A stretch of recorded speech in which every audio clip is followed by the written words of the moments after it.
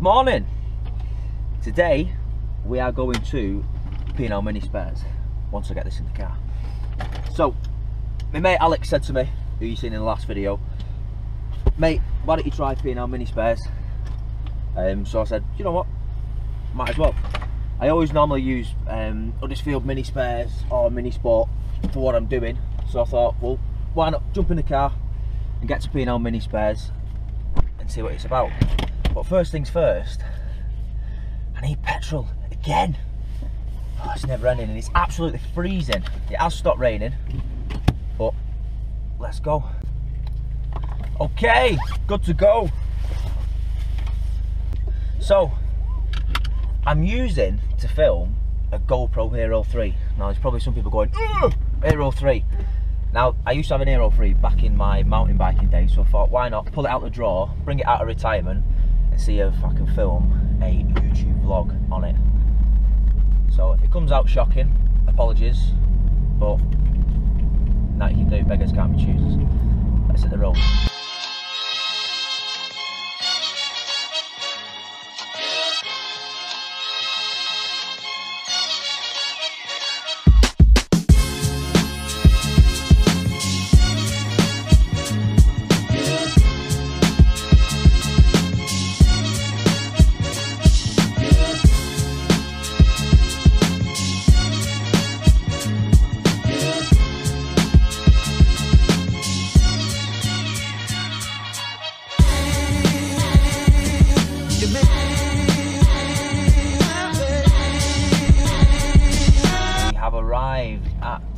P&L Minis.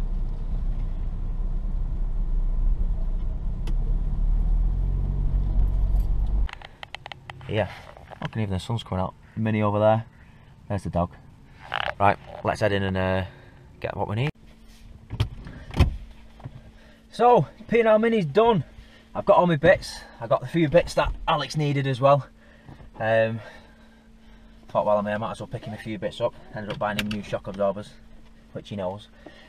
So,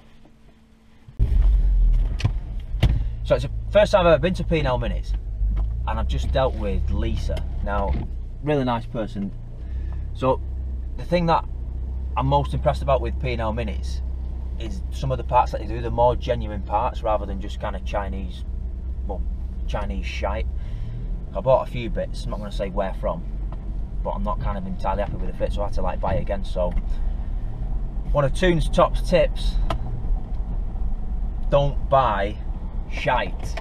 Buy the decent stuff, and you won't have to buy it again and waste more money. So I'm going to get home and then I'm going to unbox and tell you exactly what I've got.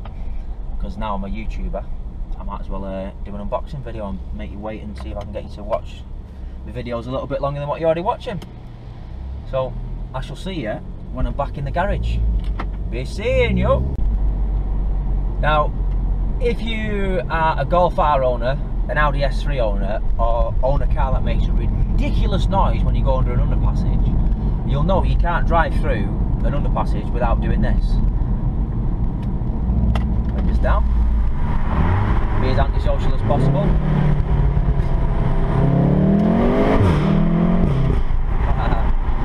oh, I'll never grow up, but I don't want. Okay, so you now join me back in the garage.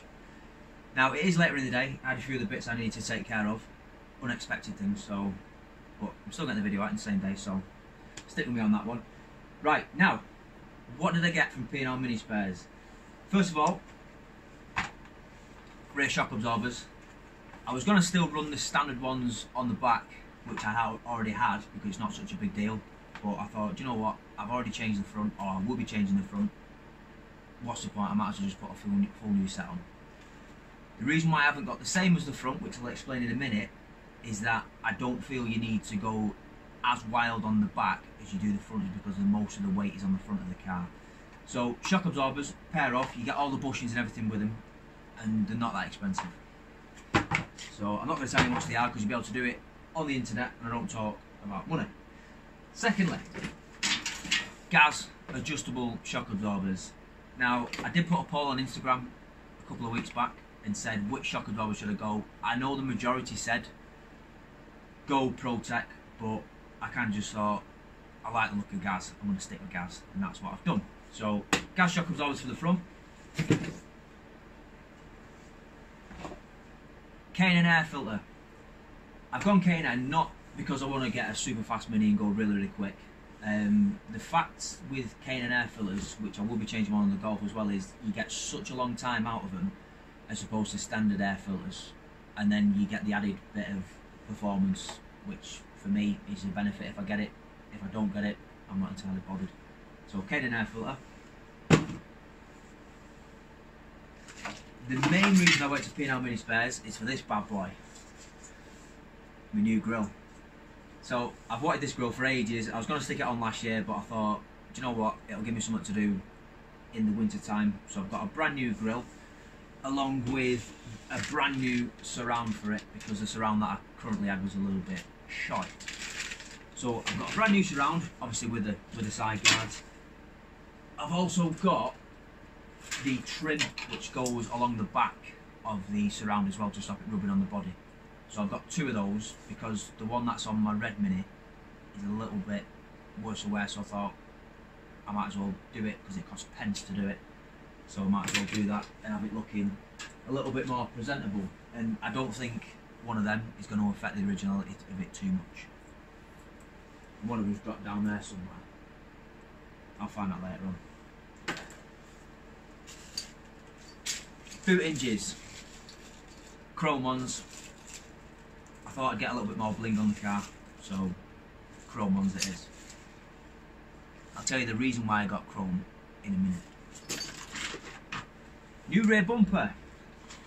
Now, I did pay through the nose for this, but it's a genuine part. Now, I did get a rear bumper from somewhere else, and the boot hinges were catching on it when the bumper was fitted. Even though I tried everything, tried adjusting the bumper, tried doing everything to it, but the boot wouldn't open properly, and it ended up scratching the blue hinges that are on it. So I thought, well, what I might as well do is take the bumper off, take the hinges off, replace them with chrome hinges, fit a proper front, not front bumper, proper rear bumper, and then the bumper that I've got on the back, I can transfer to the front because I had to cut the front one off because the bolts were rusted on solid.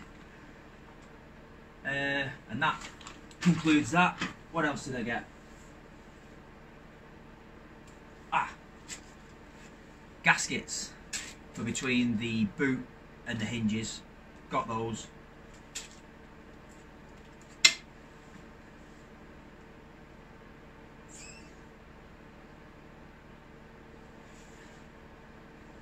And that, ladies and gentlemen, is my parts haul from P&L Mini Spares. Now, I just want to say this customer service in P&L Mini Spares is absolutely unbelievable. I would highly, highly recommend them. And like I say, like I briefly said before, the parts that they do, they do sell more genuine parts. They are a bit more pricey, but at the end of the day, if you either restoring a mini or putting bits on a reasonably good condition mini, and it's not just a bodge, you might as well just spend that little bit, little bit extra, and make sure the parts that you're putting on are what they need to live up to.